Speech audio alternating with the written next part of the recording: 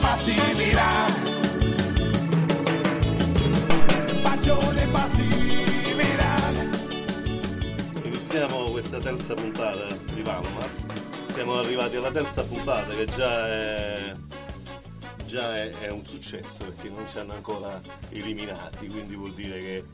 Anzi, stasera raccogliamo anche la sfida con Conti per Sanremo, penso che sarà una sfida... eh, Se non si sono già addormentati, magari c'è qualcuno qui. Vabbè, ma è ad armi impari. eh. Cioè, nel senso che stiamo fandaggiati È noi. il ovviamente. Buonasera, buonasera da Paolo Vecchione. Buonasera da Stefano Nappo. Buonasera da Ernesto Sasso. Eh, Stefano, Nappo, Stefano Nappo è il primo ospite di, di questa serie di, di- beh, però puoi anche ritornare, non è che cioè, uno viene ospitato ogni qualvolta si propone. Diciamo l'ospitata non è esclusiva. Si può- No, visto che non abbiamo nemmeno altre prenotazioni, quindi per loro sei l'unico fondamentalmente che si è Ma prenotato. io ti ringrazio Quindi- molto per la stima che mi stai dimostrando in questo momento. Veramente, mi sento onorato. diciamo. Ma poi ci sta sta cosa che, che noi ogni qualvolta eravamo convinti di aver letto molti libri.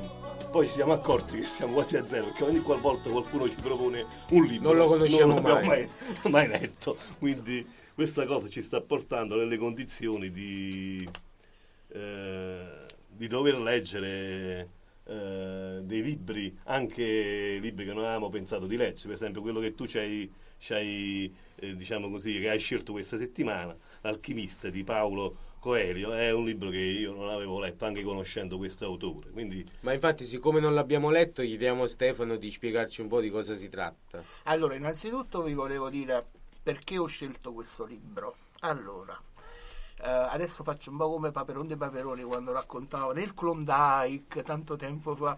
No, allora, nel 2000, esattamente nel 2003, il sottoscritto eh, decide di- ehm, che è stufo di vivere in questa zona così depressa, non c'è niente, lavoro non ce n'era, eccetera, eccetera. Allora decisi come si suol dire qui da noi, di prendere armi e bagagli e me ne andai a Padova.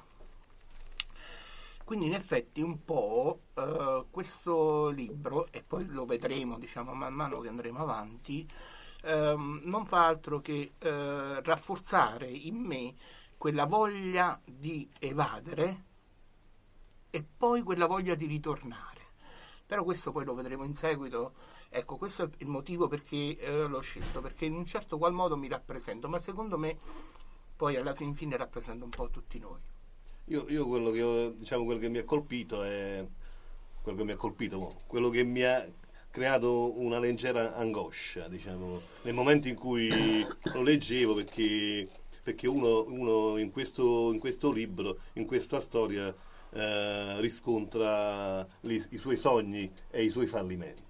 È comunque una metafora, a parte, a Le parte- sue illusioni, le sue delusioni. eh, è in, in gran parte la sua vigliaccheria, Anche, che è un anche. elemento che, che- che risalta agli occhi.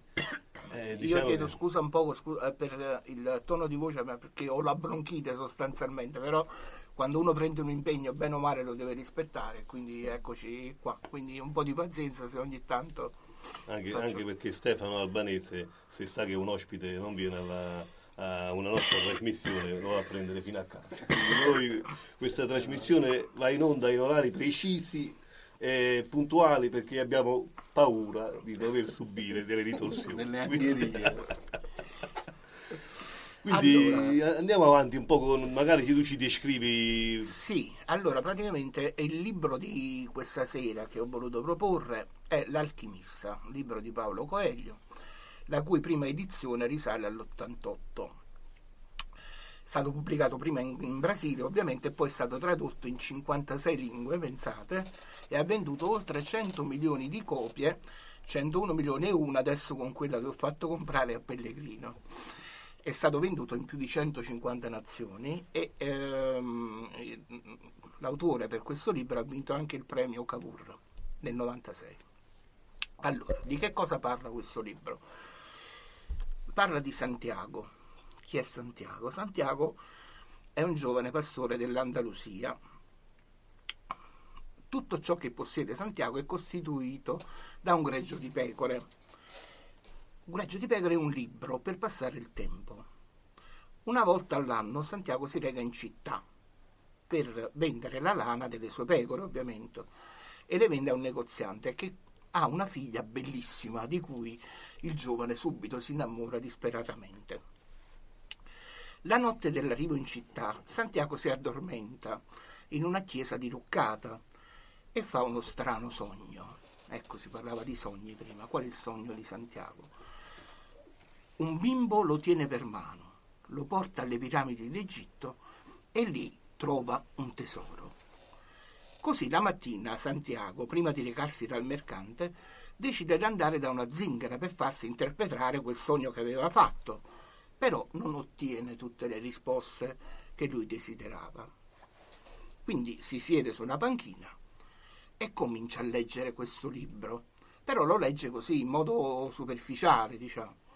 E mentre leggeva arriva un vecchio questo vecchio dice di essere il re di Salem, ma eh, Santiago diciamo, lo prende per un mezzo matto, quindi non gli crede e quindi dice ma sto matto parlo da solo. Però con gran stupore del ragazzo il vecchio che cosa fa? Comincia a scrivere per terra tutta la vita del giovane utilizzando un bastone. E allora lo strano signore, quindi che cosa fa? Eh, comincia a parlare di, di cose eh, che a Santiago erano sconosciute, di concetti strani, tipo anima del mondo, leggende personali, alchimia. Allora il giovane, incuriosito, gli racconta del sogno e il re lo invita a partire subito alla ricerca dell'alchimia e dei suoi segreti. Santiago allora decide di partire vende tutte le sue pecore e compra un biglietto per arrivare a Tangeri, in Marocco.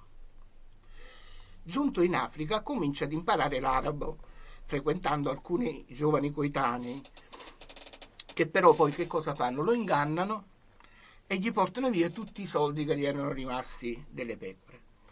Santiago ora si vede costretto a cercare un lavoro per poter sopravvivere, ora che si trovava anche lontano dalla sua patria, trovò lavoro in un negozio di cristalli. Dapprima li pulisce, poi costruisce una vetrina, eh, poi inizia a servire il tè ai clienti, facendo incrementare i guadagni suoi e quelli del suo padrone. E così facendo riesce a mettere da parte una buona quantità di denaro e decide di intraprendere finalmente il famoso viaggio verso l'Egitto. Giunto al deposito delle carovane, incontra un tizio strano, un inglese, non Edoardo, un inglese, eh, intento a leggere dei libri sull'alchimia. Santiago, incuriosito, decide di farsi spiegare il significato di alchimia. Cosa significa alchimia? Il giovane dà molte spiegazioni. Parla della pietra filosofale, che è in grado di trasformare tutti i metalli in oro e di creare poi l'elisir di lunga vita, che è una mitica pozione che rende immortale chiunque la beva. Dopo numerose ore di viaggio, la, fa, la carovana fa sosta in un'oasi per il rifornimento d'acqua e per riposarsi, ma anche perché le tribù del deserto sono in lotta fra di loro e l'oasi quindi è l'unico posto momentaneamente sicuro.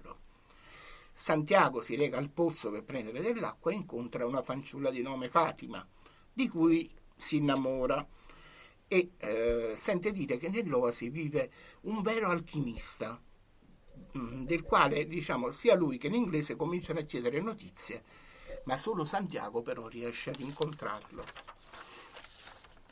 L'alchimista spiega il vero senso dell'alchimia, che andava ben oltre le cose materiali, come l'oro, la vita eterna, ma che invece il vero fulcro dell'alchimia è il linguaggio universale, ovvero la capacità di parlare con tutte le cose e con tutte le persone attraverso il cuore. Santiago gli racconta del vecchio re di Salem e del sogno che aveva fatto. Così l'alchimista decide di accompagnarlo fino alle piramidi, alla ricerca del suo tesoro e della leggenda personale. Intanto nel deserto la guerra fra le tribù continua senza sosta e i due vengono catturati con l'accusa di essere delle spie. L'alchimista chiede la liberazione e in cambio promette che Santiago sarebbe stato in grado di trasformarsi in vento. Il giovane pensa a lungo e crede di non riuscirci, però grazie al linguaggio universale riesce a parlare all'anima del vento, del sole, delle nubi, del deserto, delle acque, finché non sente un for- una forte sensazione, eh, un vento, sente un vento sulla sua pelle e riuscì quindi su, eh, nella sua opera e il capo tribù rimase scioccato e li libera senza discussione. Dopo molti giorni di viaggio attraverso il deserto, l'alchimista fa vedere a Santiago come il piombo si può trasformare in oro. Ecco l'effetto della pietra filosofale. E lascia al giovane il metallo e con quest'oro lui poi alla fine riesce ad affrontare il viaggio da solo. Giunto alle piramidi, Santiago comincia a scavare nel luogo, ma viene attaccato da un gruppo di briganti e uno di questi gli domanda ma perché stai scavando e perché stai scavando proprio qua? Al che Santiago racconta del suo sogno. Il brigante risponde che anche lui aveva fatto un sogno che era molto simile, ma che, al contrario di quello di Santiago, che prevedeva che il tesoro si nascondesse alle piramidi, il tesoro del brigante, quello che lui aveva sognato, era in una chiesa diroccata e che non era stato, diciamo però, lui così stupido da credervi e quindi non si era mosso e non aveva intrapreso alcun viaggio. Allora Santiago capisce tutto finalmente. Tutto riparte, tutto ritorna da quella famosa chiesa diroccata in cui lui si era addormentato prima. Che fa? Torna in Spagna, si reca nella chiesa diroccata dove aveva dormito ed ecco allora finalmente scopre il suo tesoro. Il linguaggio universale e la sua leggenda personale erano sempre stati lì, nel luogo dove tutta la storia ha avuto inizio e dove poi alla fine si è conclusa. E in quel momento avverte un alito di vento che gli ricorda Fatima. Ecco, questa è la storia. E adesso a voi, diciamo, le varie interpretazioni di questo libro. Tu l'hai letto, Pellegrino? Io diciamo, non avevo mai letto questo autore, anzi in genere dalla critica un po' più, diciamo così, Un po' bistrattato. eh, un po' più, eh, come la vogliamo chiamare, un po' più chic, un po' più radical chic, perché uno de- una delle malattie eh, della- della diciamo così, del mondo della, della scrittura in Italia c'è, c'è un, un un po' di, ra- di radicalismo chic un po' di puzza sotto un il po' di naso. puzza sotto il naso che non esiste in altre nazioni, in altri posti. Io penso che Paolo Coelho, alla stregua degli altri autori eh, americani, cioè, sono molto più a misura d'uomo rispetto a quello che, che è il lettore. Sono molto più In diretti. Italia anche. c'è un po' di questa aristocrazia, quindi Paolo Coelho, anzi, una delle ultime cose che ho sentito, magari eh, Paolo si farà una risata, è che eh, Fabio Volo viene chiamato il Paolo Coelho Sì, sì, italiano. no, la- sapevo, sapevo anche io di questo paragone che è stato fatto. che dovrebbe essere un paragone, diciamo così, dis- discriminatorio fondamentalmente, ma in realtà io la penso diversamente. Se Paolo Coelho ha venduto 100 milioni di copie con il suo libro, significa che lui ha raccontato qualcosa che ha colpito, eh, che ha colpito i sentimenti eh, degli- dei lettori. Poi siccome la scrittura, l'abbiamo detto nella prima puntata, lo continuiamo a dire, è- serve per trasmettere eh, diciamo così, delle emozioni, per trasmettere, eh, diciamo così, per indurre le persone a provare Vabbè, per eh, creare, che si crea empatia la scrittura tra lo scrittore e il lettore, quella è una- in sostanza la- l'arte dello scrittore, un po' come la pittura, la musica, qualsiasi poi forma È bello che le persone si riconoscano poi. Eh, esatto, nelle varie storie, l'hai detto tu prima Stefano, che Mm. ti sei riconosciuto giusto appunto nella storia di... Infatti mi ha colpito molto perché sembrava, sembrava un per sommi capi un po' la mia storia, no? diciamo, la storia un po' della mia vita, ma penso che poi alla fine sia quella di tutti di noi, perché se, se poi iniziamo ad entrare nelle varie simbologie, notiamo subito, diciamo, salta subito agli occhi che eh, Santiago siamo tutti noi, che cerchiamo la nostra verità, la nostra felicità eh, dovunque, tranne Io mi sento più il proprietario della- del, del negozio di cristalli, però, che non va alla Mecca perché gli rimane l'ultimo sogno e se una volta che è andato non avrebbe più motivo di vivere. Sì, infatti cosa sono diverse sfaccettature, infatti ci sono queste diverse sfaccettature, poi c'è anche la, la versione proprio del brigante, quanti briganti ci sono in mezzo a noi? Briganti nel senso non briganti per amor di Dio nella- nell'accezione stretta del termine, briganti diciamo che quello che lui rappresentava, quello che lui diceva, lui diceva pure io ho fatto dei sogni, però mica sono talmente scemo che poi mi muovo da qua. E allora la domanda sorge spontanea, come direbbe qualcuno. È lecito rincorrere i propri sogni? Ci vuole coraggio o ci vuole più coraggio a rimanere? Eh, È, bella- è il è una dubbio- bella domanda. È il dubbio atavico, vabbè, ciò che trattiene dal seguire i sogni, a mio avviso, è la paura.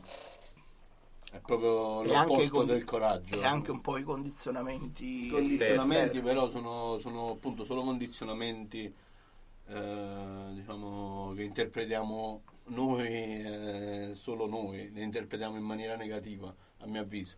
A te cosa ti è rimasto della lettura di questo libro? A me mi è rimasto, cioè io eh, penso che poi fondamentalmente le cose sono anche legate ai momenti della vita eh, che uno vive e l'età penso che sia un, un metro importante per, La diciamo, discriminante Eh, perché sostanziale. poi eh, alla fine questo libro eh, sarebbe una sorta di, di risposta che Coelho dà a se stesso, perché Coelho era un appassionato di, di alchimia e poi a un certo punto si perde perché non riesce più a, a riconoscere il senso del simbolismo e il senso dell'alchimia, che poi non è eh, eh, trasformare il piombo in oro, ma è, è trovare una Un chiave di lettura Esatto. universale. Questo poi alla fine, è, diciamo così, è la risposta che lui stesso si dà. Anche perché voglio ricordare che ehm, Coelho eh, cresce in un ambiente molto, molto, diciamo, rigorosamente cattolico, perché ha un'educazione di tipo eh, veramente molto rigida. Poi alla fine lui, arrivato a una certa età, si ribella a tutto questo e passa, diciamo, in, ehm, sponde diametralmente opposte e infatti lui rinnega tutto ciò che è la religione e rinnega tutto ciò che erano gli insegnamenti che gli erano- stati diciamo, un po' inculcati a forza da bambino. E poi fa un po' un marcia indietro. E quindi alla fine di nuovo riesce a una volta che ha sperimentato e non ha trovato perché diciamo la verità Coelho non trova sostanzialmente ritorna ancora sui suoi passi e quindi si attacca ancora un'altra volta alle sue e questo è anche un'altra cosa diciamo che ci fa pensare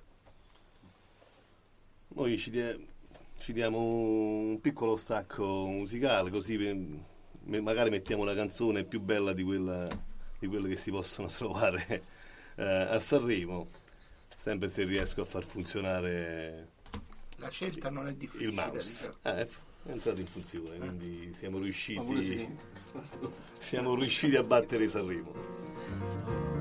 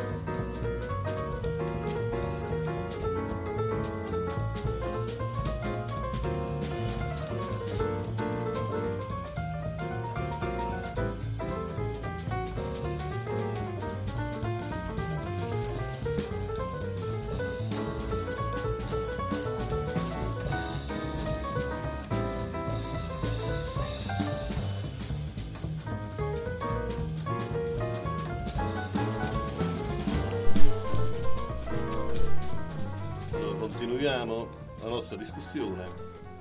Penso che il nostro pezzo musicale sia stato sicuramente superiore alla media di Sanremo. Non ci vuole granché.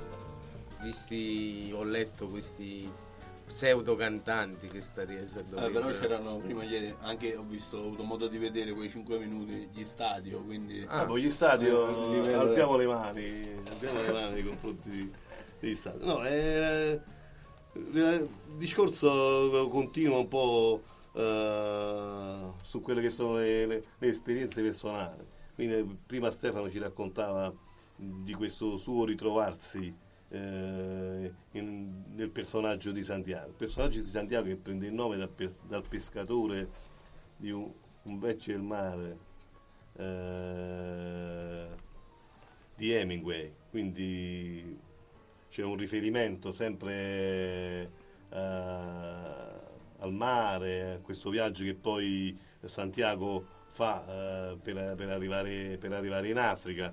Eh, un elemento che io ho notato era che Santiago poi come se avesse sempre un- una fortuna, un qualcosa che, che l'aiutava nelle, Nelle sventure. nel- nelle sventure, perché quando lui poi rimane dal- nel negozio di cristalli, questo negozio che era quasi fallito, eh, ha un boom incredibile al punto tale che lo stesso proprietario del negozio ha paura perché dice io questo negozio me lo immaginavo a un certo livello visto che questo livello l'abbiamo raggiunto perché dobbiamo, dobbiamo migliorare però alla fine poi, poi il mercante accetta tutti i consigli fino a quando è costretto ad assumere più persone. Questo, questo, questo, questo atteggiamento nei confronti della sorte di sfidare la sorte e di cavalcare poi la fortuna, di, di aiutare la fortuna quando la fortuna cerca di aiutarti. Questo è un po' il messaggio. Ma poi, Io sto ma poi il mercante che fine fa poi alla fine?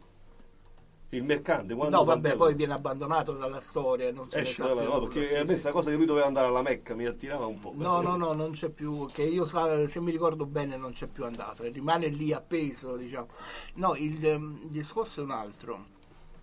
eh, aggrappandomi, diciamo, allacciandomi a quello che tu stavi dicendo e portiamo, diciamo, questo messaggio nelle nostre vite, perché poi in effetti penso che commentare un libro e fare riassuntino non sia diciamo, eh, il vostro Non è- scopo, non è l'obiettivo, diciamo, non è l'obiettivo. L'obiettivo è anche fare una chiacchierata tipo quando stiamo andando al bar, per esempio, e poi dire ma tu che ne pensi, tu che ne pensi, tu che ne pensi.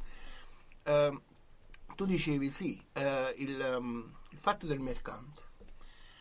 Ma noi a volte non abbiamo anche non solo la paura di non farcela, che è naturale, ma non pensi che a qualsiasi livello, eh, gioco, politica, a qualsiasi livello, abbiamo a volte anche la paura di farcela, Sì.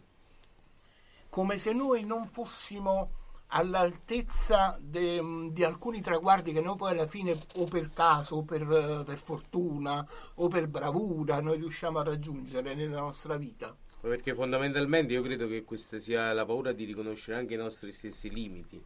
Quella insomma che ci spinge forse Di a rinunciare Eh. oppure a dire poi se ce la faccio come faccio.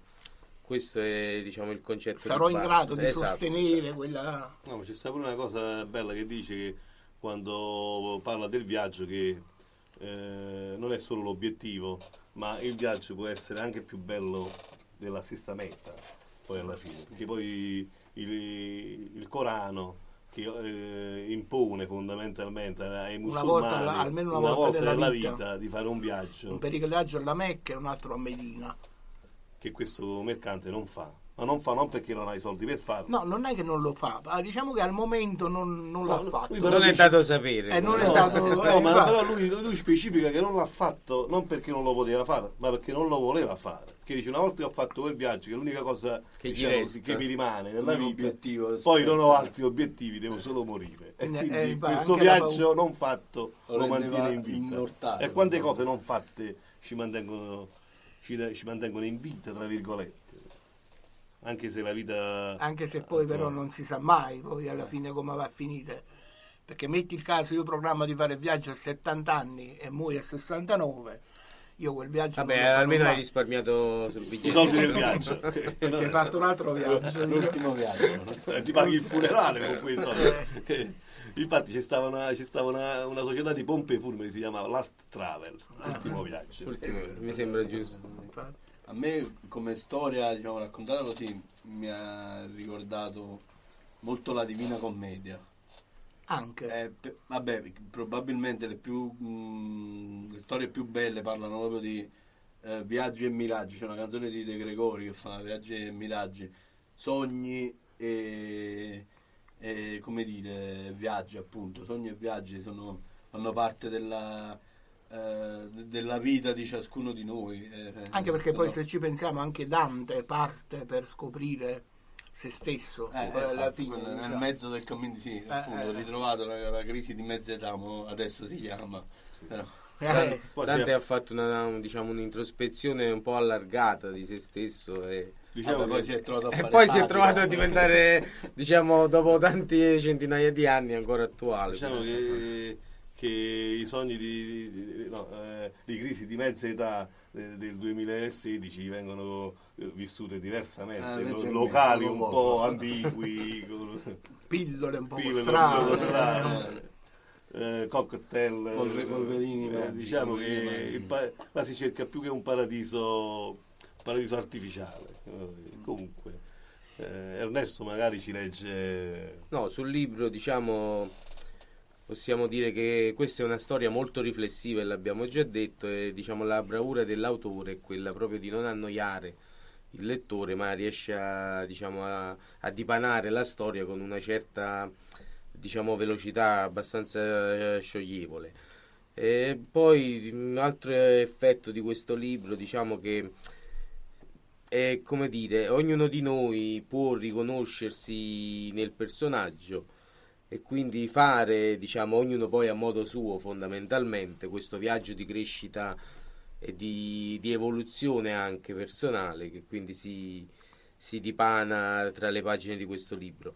Ovviamente è un libro che usa molto il simbolismo, infatti lo stesso autore lo ha dichiarato che diciamo è ha utilizzato tutto ciò che ha imparato durante questo suo percorso di avvicinamento all'alchimia poi per, eh, per scrivere il libro. Io credo personalmente che sia anche un libro che ha risentito molto dell'influsso della New Age che è esplosa negli anni 90 e che fortunatamente è terminata da qualche anno perché stavo prendendo una piega un po' troppo. Scusami se ti interrompo. C'era un eh, nostro penso comune amico ad Avella che aveva un negozio di dischi. Eh, non diciamo il nome per mantenere diciamo, una sorta di privacy. E quando uscirono queste, eh, questi, tutti questi dischi New Age, eh, Chill Out, queste cose qua, me ne ha propinati secondo me una ventina. E io passavo tutto il giorno e mh, cioè, sembrava che praticamente mi fossi drogato, ma io non mi ero drogato, vi giuro che non avevo toccato assolutamente niente. Questa musica proprio a un certo punto mi Creava sembrava- dipendenza. eh, mi ha fatto impazzire. Eh, Anche è vero che ho dovuto. A un certo punto mi sono diciamo, scocciato, ho preso tutti i dischi, ho fatto un fugarone. eh, perché eh, eh, ho detto tu a me sta roba qua non la vendi più. È stato un periodo di, di crisi in cui si cercavano certezze. Ma probabilmente si è trattato di un medioevo moderno che poi è esploso con questi, Ma, ma- ma- ma- questi autori probabilmente, probabilmente di tutto, oggi eh, ci sono altre oggi ci sono altre forme di diciamo così di, Di ipnosi, autoipnosi. eh, mo, mo sì, mo- mo la prima cosa è la cura fisica cioè l'immagine Non si direbbe guardando i No, Eh, noi- Diciamo, se- noi, noi quattro facciamo una noi andiamo controcorrente su, su questo però Anche su questo andiamo contro Però quando uno si reca in uno studio di un estetista e trovi un tuo coetaneo che si sta facendo la depilazione, penso che più o meno siamo a livello dei dischi New Age che tu, che tu bruci. Però mi raccomando, alle persone non si può dar fuoco, quindi non vorremmo far passare No, questo no. messaggio. eh. Noi, Vabbè, però se capita a qualcuno magari un po' di, di fuoco si può dare. non, siamo- non facciamo No, no, sempre no. questa cosa che siamo tirati, che potremmo risparmiare. Abbondiamo. Abbondiamo, abbondiamo. E quindi ognuno cerca nella sua epoca di trovare, mm, di trovare delle soluzioni, magari per tamponare dei, dei vuoti di pensiero. Eh, mi ricordo Uccini, Guccini parlava di una sua canzone di, queste, mm, di questi pensieri, filosofie orientali che oggi arrivano anche attraverso i cibi, e sushi e altre situazioni che non è che noi siamo fondamentalisti sul cibo, ognuno si mangia quello che vuole, però Anche gli insetti ultimamente. anche gli insetti. E in futuro, eh, in futuro, successivamente. eh, immaginare un piatto di cavallette che sono state eh, dalle- dalla comunità eh, europea, Eh, eh, diciamo così, la legge sì, sì. eh, ha spiegato che diciamo, ha dichiarato che questi insetti sono commestibili. Ma forse più una- un- in linea di principio, però immaginare uno spaghetto con il pomodoro. No, ma poi, diciamo, eh, questi Vabbè, però io voglio, spendere una, una parola in favore delle cavallette da mangiare, ok? Quando si parla di cibo. Cioè, ci mangiamo le vongole, mangiamo i frutti di mare. cioè, abbiamo una sorta di pregiudizio. No, io le cavallette vabbè, se le possono mangiare gli altri. Sì, però io mi immedesimo Eh, soprattutto come? in questi cuochi che dovranno cucinare queste cose. Cioè, difficile- vai tu che la vuoi ben cotta, un altro dice no, un po' al sangue. Cioè, sarà Difficile. Ma secondo me questo è proprio il caso in cui ehm, il progresso ci verrà incontro. Perché penso che proprio il caval- le cavallette siano proprio indicate per i quattro salti in patente. Quindi è una cosa meglio del cavalletto. tra le, tra le patente, eh. No, ma pure, ma pure la nouvelle cuisine, cioè questi piatti eh, molto scenici dove tu una volta che sei uscito dal ristorante la prima cosa che ti chiedi è dove devi andare a mangiare un panino perché giustamente dopo, hai- dopo aver fatto tutte le fotografie postate, su ovviamente, Facebook. su Facebook. dopo dici poi che ci mangiamo Eh, che giustamente no questo per dire per dire che, che alla fine eh, un'epoca in cui si andava alla ricerca fondamentalmente di risposte che non si riuscivano ad avere nella, nella- nella vita reale è finita, però il messaggio comunque rimane, eh, il messaggio di Santiago, e che è prima di tutto il messaggio di avere il coraggio di seguire I propri sogni. i propri, che poi non sono ne- nemmeno sogni, lui parla di, di linee guida, di una vita già in un certo qual modo prestabilita dove tu poi devi impegnarti al massimo per fare tutto il contrario di quello che la vita ti per uscire dal binario, diciamo, Per per deragliare. Però io, io penso un'altra cosa, ecco, portiamola adesso, abbiamo parlato del libro, dei, dei personaggi, delle simbologie. Adesso vorrei buttarla un attimino un po' più sul, sull'odierno, sul sociale. Secondo voi, io vi faccio questa domanda così, alla quale io purtroppo tengo già la mia risposta, però è bello sempre confrontarla con le risposte che si danno gli altri. Ma questa gioventù, oggi, riuscirà mai a mettersi in cammino e protendersi verso qualcosa?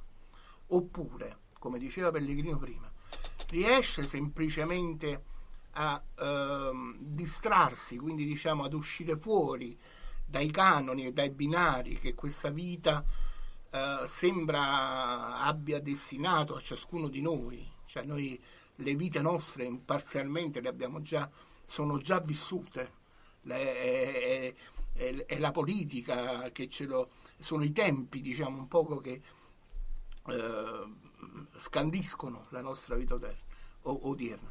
Cioè io questi giovani li vedo veramente un po' allo sbando. Se- è bello per esempio, è stato bello per esempio stasera venire qua e ti ringrazio dell'invito, venire qua in radio e trovare eh, gente, trovare un gruppo di giovani che eh, ci credono in questo progetto, hanno un- voglia diciamo di stare insieme e usano la radio come un mezzo, la radio, la musica, quello che sia. Ma fuori di qua, diciamo, prendiamo soprattutto diciamo, il mandamento baianese, eh, che è quello che ci riguarda più da vicino. Siete pure voi, ehm, eh, come dire, ehm, scoraggiati un poco, delusi dal modo in cui noi stiamo facendo crescere questi giovani.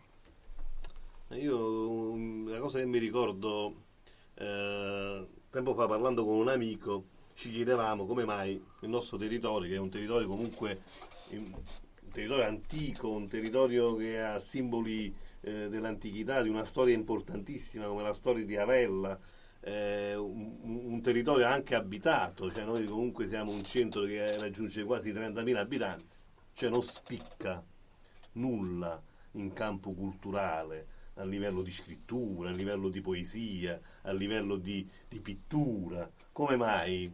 Allora questo amico mi disse "Prob- probabilmente non c'è niente da raccontare, cioè non abbiamo niente da raccontare. Cioè proprio così. Cioè, probabilmente, probabilmente, eh, non riusciamo a cogliere nelle nostre esistenze eh, degli elementi di valore tali da eh, metterci nelle condizioni di poterli trasmettere attraverso eh, l'arte.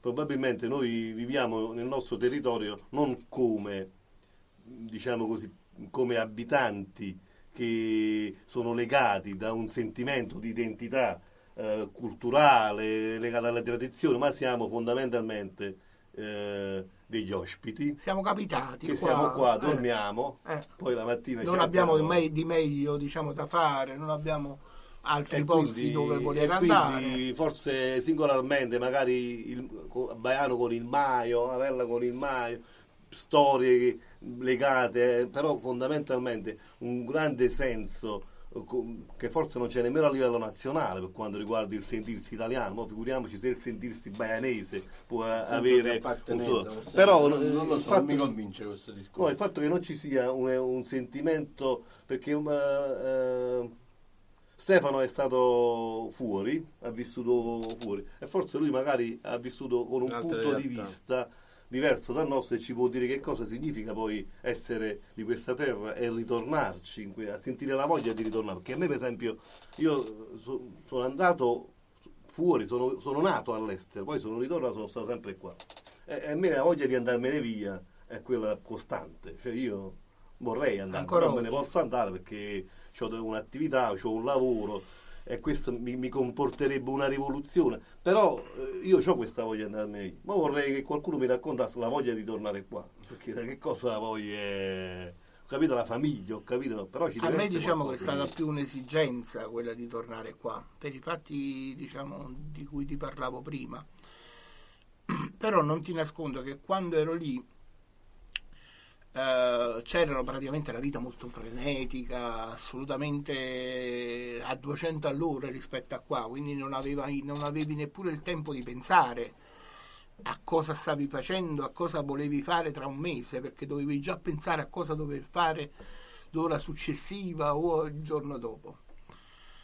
Però c'erano quei pochi momenti, diciamo, di relax eh, dove tu pensavi un po' a queste cose e poi dicevi, vabbè, ti autoassolvevi, diciamo, "Ah, vabbè, io sono stato costretto ad andarmene, se ci fosse stato il lavoro non me ne sarei mai andato. Il sentimento di cui parlavi tu, quando è che nasce? Quando le cose iniziano ad andare male. Quando le cose iniziano ad andare male, noi abbiamo un po' tutti questi flashback, no? Non so se vi è mai capitato di pensare, ma Roma, io quando ero bambino, ma com'ero felice. Nei momenti di difficoltà tu ti aggrappi alle tue certezze o a quelle che sono state le tue certezze per avere quella forza, diciamo, per carburare di nuovo e per andare avanti. Io sinceramente nei momenti di sconforto, nei momenti di debolezza, perché poi ci stanno i momenti di solitudine che ti prendono anche se tu eh, conosci gente, fai amicizie, alla fine non sono mai i tuoi amici, quelli con cui sei cresciuto, sono sempre persone e tu sei sempre un po' sul chi va là, no? Dice fammi vedere un attimo questo e non saprai mai, se non poi quando ti arriva la delusione, per non usare altri termini diciamo un po' più sconci, non saprai mai fino a che punto tu ti puoi fidare di una persona. Invece qua, crescendo con gli amici di sempre, diciamo, tu qui hai comunque un'ancora di salvezza, hai comunque delle certezze. Eh, conosci Pellegrino, conosci Ernesto, cioè eh, ci sei cresciuto insieme, sai, eh, sai anche che magari se queste persone ti fanno qualcosa, magari non te lo fanno neppure apposta, quindi riesci anche a giustificare. Allora, per, eh, diciamo, per chiudere diciamo, questo argomento, tornare significa riscoprire i vecchi valori, quelli che fuori dal nostro mondo non è un modo di dire, cioè è difficile da trovare, veramente difficile da trovare. Ehm, il, l'amico con il quale sono cresciuto, il mio compagno di banco alle elementari, io quella persona non la perderò mai. Anche tornando dopo tanto tempo, e sono le amicizie più belle quelle che poi si riscoprono. Vabbè, certo, sono...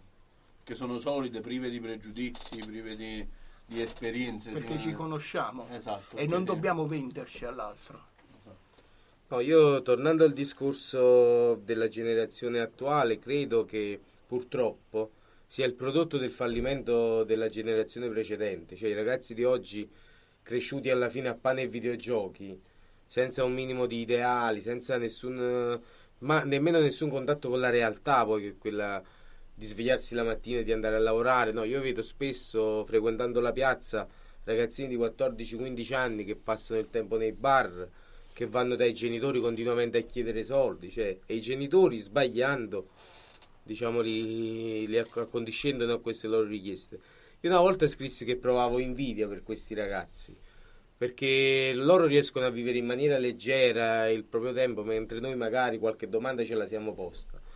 E invece loro così Loro, loro hanno le risposte. hanno le risposte, pare. esatto. Secondo me sono, sono i sogni ad essere sbagliati. Cioè, No, ma io mi chiedo, ma i ragazzi di oggi hanno ancora dei sogni? dei quello, sogni, eh, perché infatti. hanno già hanno. tutto, Hanno cosa già devono tutto. sognare? Eh no, ehm, secondo me cioè, quando poi sono chiusi con loro stessi nelle loro stanze, Un po' il nei, discorso che facevo io. nei loro attimi eh, di solitudine, secondo me i sogni ce l'hanno. Dice, Ma io potrei diventare, potrei dipingere ad esempio. Secondo me, sì, sì, sono stato ragazzo qualche anno fa pure io, quindi eh, vabbè, forse mi ponevo qualche dubbio in più rispetto ai ragazzi di oggi, diciamo così. Però ho anche qualche sorella più piccola. è cresciuta nella stessa famiglia, quindi pure loro i dubbi se li pongono. Tuttavia penso che un ragazzo mh, dotato di un minimo di dire, spirito di osservazione eh, dice ma io perché devo vivere così trascinandomi eh, a bruciare i soldi dei miei genitori oppure ne so, a perdere il tempo senza- per, per- fare nulla di costruttivo. Mm, Quando poi ovviamente per questioni di branco si trova poi a, a perdere il tempo come tutti i giorni. No, Secondo me sono i sogni, sba- i sogni che sono sbagliati. cioè Ma, no- ma io, penso, io penso che secondo cioè, penso che poi i sogni non è che siano delle cose aliene, i sogni sono comunque frutto della nostra mente e quindi frutto delle- della nostra educazione, delle cose che, abbiamo, che ci hanno insegnato eh, ad osservare. Io, io non sono così pessimista rispetto alle nuove generazioni perché penso che se c'è da una parte una mancanza di ideali, c'è da, con- diciamo, da contraltare fa meno, ipo- meno ipocrisia. Cioè, i giovani di oggi rispetto alle generazioni precedenti sono meno ipocriti perché noi abbiamo visto tanti maestri che ci, hanno, che ci hanno messo anche in difficoltà a livello di coscienza rispetto al nostro misero comportamento da comuni mortali Esatto. in cui ci sentivamo in, Noi in quelli disagio, sbagliati. quelli sbagliati. Eh, eh, quando infatti. poi abbiamo scoperto poi che, che questi, que- questi maestri erano dei cattivi maestri perché E poi- infatti questa è un'altra, un'altra lancia che vorrei spezzare adesso perché abbiamo detto il brutto, no? diciamo pure il bello di queste nuove generazioni. Sono geniali, cioè riescono ad inventarsi eh, lavori, si inventano situazioni, si inventano interessi e nonostante, nonostante loro abbiano avuto una disgrazia secondo me perché noi siamo stati un po' più fortunati eh, loro hanno avuto la disgrazia di non avere esempi. Eh, di non avere esempi, di non avere idoli, di non avere noi bene o male eh, da una parte c'era il Mirante, dall'altra parte c'era Berlinguer per quanto riguarda la politica. Eh, eh, che ne so, lo sport, ci sono stati dei grandi Mennea, dei grandissimi idoli La musica anche. la musica anche.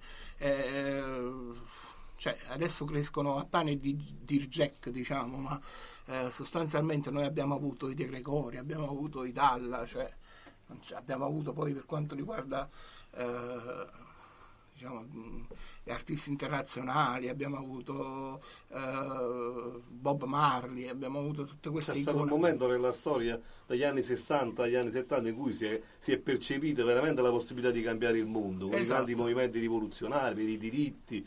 Eh, oggi abbiamo difficoltà anche eh, a- a- ad impegnarci perché due persone che vivono insieme, e non parliamo delle coppie gay perché affronteremo un discorso quasi di tipo Poi veramente ci arrivano le telefonate. Due persone eterosessuali che vivono insieme oggi come coppia di fatto non gli vengono riconosciuti i diritti, c'è ancora una battaglia da fare. Quindi parliamo del medioevo fondamentalmente. E poi può sembrare un discorso, una battaglia stu- um, astratta, ma invece poi è una battaglia concreta.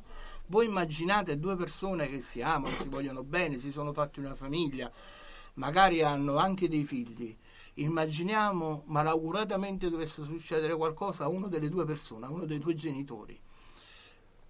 E se in ospedale si presenta la famiglia di quella persona, la famiglia intesa come padre, sorella, madre, eccetera, eccetera, ha potere di decidere eh, determinate cose, cure, piuttosto che interventi, eccetera, eccetera, mentre l'altra persona che divide e condivide la vita con quella persona non ha assolutamente alcun diritto, cioè sono cose veramente E la cosa assurda è Siamo che. Eh. E infatti la cosa assurda è che per regolare queste cose che diciamo sono semplici cose quotidiane del buon senso c'è bisogno ancora di leggi che non La esistono. legge per non buttare i mozziconi di sigaretta a terra.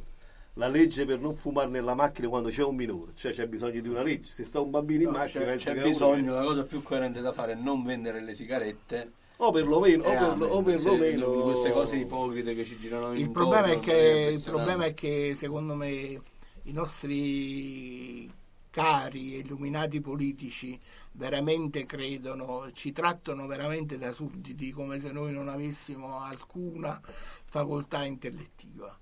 E come persone alle quali noi dovremmo dire tutto perché tutto deve essere regolamentato perché altrimenti noi chissà che cosa siamo capaci di combinare. Il Parlamento non dovrebbe essere eh, un luogo in cui fare solo ed esclusivamente leggi, c'è un luogo in cui si legifera in maniera tecnica, cioè il Parlamento dovrebbe essere un punto di riferimento della vita eh, civile e sociale di tutta la nazione, ma in realtà non vengono, cioè ultimamente il dato di fatto è che il il politico o è stupido o è ladro, cioè non si riesce a scorgere, forse saranno i O nuovi- entrambe le in cose. alcuni casi entrambe. entrambe le cose, però non si riesce a scorgere un- una luce, eh, forse sarà la- una questione di, di- di- di informazione. Eh, oggi se non hai i mezzi economici non, ti pu- non puoi importi a livello anche di, di mezzi di comunicazione, quindi sei praticamente sconosciuto. Però posso dire anche un'altra cosa, caro. E, e i social non è che hanno agevolato, No, anzi. Eh, i social eh, sono diventati un dire. luogo incredibile in cui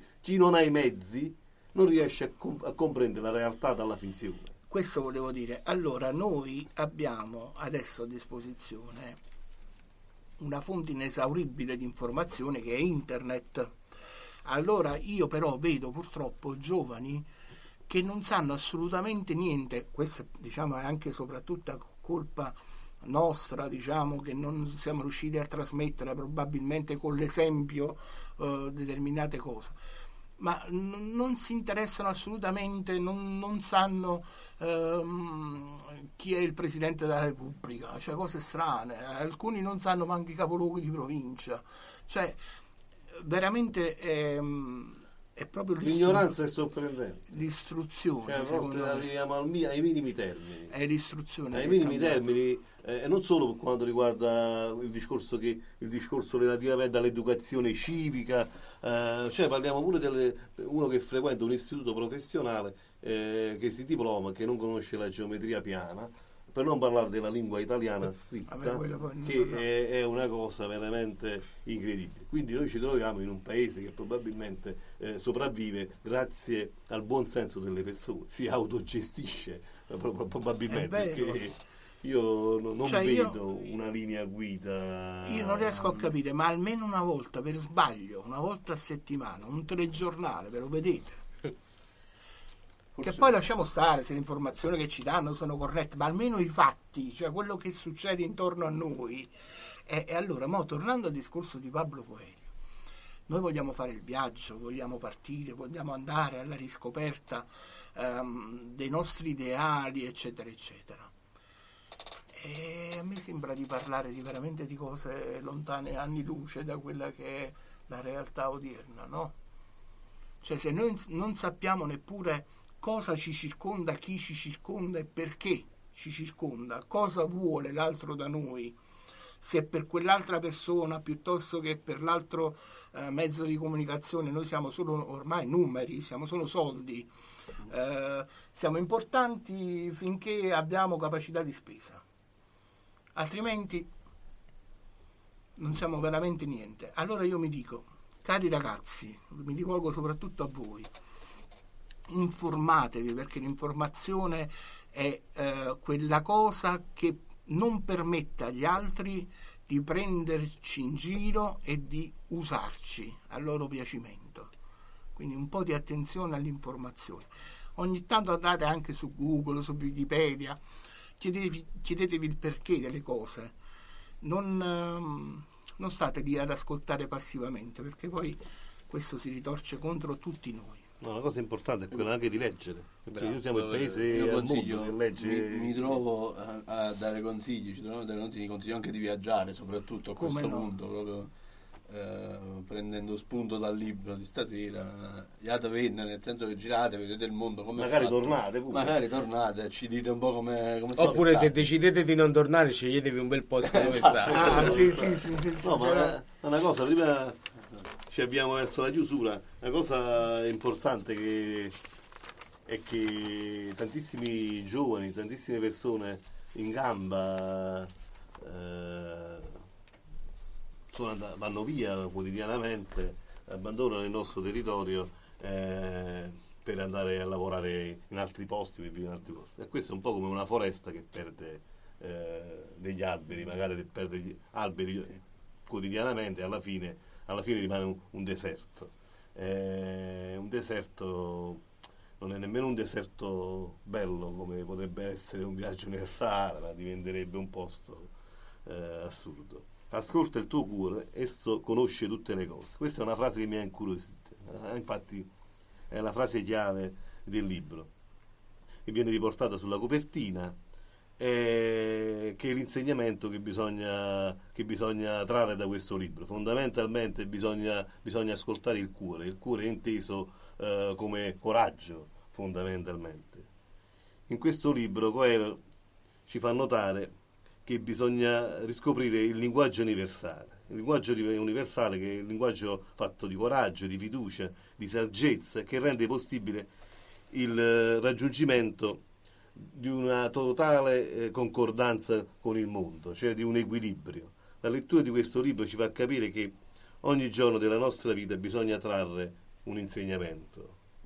Ognuno di noi ha un obiettivo nella vita, anche quando pensiamo di non averne, probabilmente ce l'abbiamo e non ce ne rendiamo conto, e questo obiettivo noi dovremmo cercare in tutti i modi di raggiungere. Non importa la difficoltà, l'importante è crederci e non mollare, perché eh, avere un obiettivo da raggiungere come eh, un impegno anche sociale, anche un impegno politico per cambiare la società in cui noi viviamo è sicuramente un motivo importante, diciamo così, eh, per vivere. La lettura poi di questo libro è, in particolare estremamente limpida, scorrevole, quindi abbiamo una telefonata, sicuramente sarà una telefonata anonima. Eh. No, no, mi è caduta la linea. È caduta la linea. No, no, Meglio. Il primo, il primo radioascoltatore Sarebbero che ci state parolacce. Sarebbe stato sicuramente, Oh, sarà stato sarebbero state sicuramente, sicuramente Sarà eh, l'ora che è finita Sanremo, sarà me. l'ora e quindi vogliono scaricare la loro rabbia su La noi. Ci avviamo verso la fine. Io penso che eh, la prossima puntata vedremo di, di portare un nuovo libro, magari eh, se Stefano vuole farci compagnia per la prossima settimana. Mm, no? Diciamo che vi vengerò a trovare, però non credo subito così a breve. Diciamo. Diciamo, già è stata scioccante la prima. No, no, no, non è stata scioccante, ma perché penso che lo scopo della trasmissione sia quello di invogliare e quindi di invitare anche altre Sì, persone. sì, ma tutte le persone, che, tutti gli amici che hanno un libro. Usami eh, come riserva, se non Sì, ci sì, stanno sì. i Stai in panchina, stai in panchina. Sai, ma- Massimo Gaglione quando leggerà il suo primo libro lo porterà anche lui, a 45 anni sta ancora in tempo per iniziare. Mai dire mai, mai dire Mai nella dire vita, mai. mai dire mai. Quindi Niente, salutiamo allora eh, i nostri ascoltatori, sperando che siano Che ancora ci siano. che ci siano e che Che siano siano. ancora. E ci rivediamo, ci sentiamo, anzi, martedì, Ciao, martedì. alla solita ora. Martedì, eh. non dimenticate la replica in onda domani alle ore 11 di mattina. Se casomai qualcuno si, diciamo, si fosse dimenticato, domani mattina, visto che i nostri radioascoltatori non sono tanti, li possiamo Eh, telefonare. Se c'è uno a uno, glielo, glielo Ma ricordiamo magari li andiamo a prendere anche a casa. Andiamo a casa insieme, Eh, esatto. possiamo fare la, La- la trasmissione a casa, a letto. la trasmissione casa per casa. Eh, poi sulla nostra pagina Facebook eh, riceverete le informazioni per eh, E potrete sappiamo- ascoltare anche la puntata. anche poi. la puntata su, su YouTube. Eh, noi non sappiamo ancora quale sarà il tema, eh, il libro della prossima settimana. né- noi speriamo di avere un ospite femminile, che c'è questa, diciamo, questa, Questa la nostra carenza. pietra filosofale è avere una, una ragazza in studio. È una Questo cosa, però, Il nostro forse- obiettivo forse, forse ci riusciremo. Quindi salutiamo i nostri amici e ci vediamo la settimana, ci sentiamo la settimana prossima. Buonasera a tutti.